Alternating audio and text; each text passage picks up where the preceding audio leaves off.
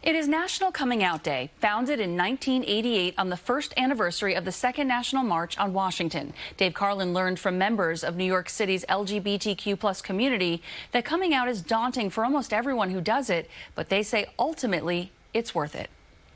Coming out means to me just like embracing your true authentic self and being you. To me, it means a sense of belonging and also being authentically myself.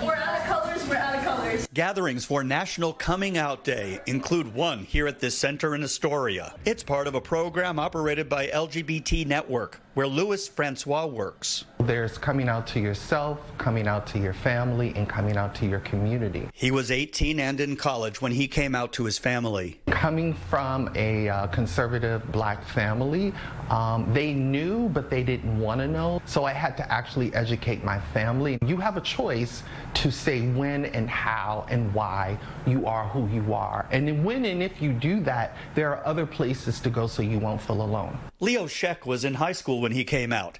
Now he's 26. What do you think is an important message on National Coming Out Day? It's a reminder that everyone deserves to feel safe. He works at Out Leadership. What do you say Out Leadership is? Out Leadership is a collection of some of the world's largest companies, and we work together with one goal, which is we use the power of business to promote LGBTQ plus equality. Why are some people still resistant to come out right now. In 2024, for the second year in a row, the social, political, and economic standing of LGBTQ plus Americans declined. I think it's important that we remind people who live in small towns, who come from families who may not be accepting, we need to serve as uh, reminders to them that this is okay. And that's why organizations like Out Leadership are working tirelessly every single day. Taking step after step.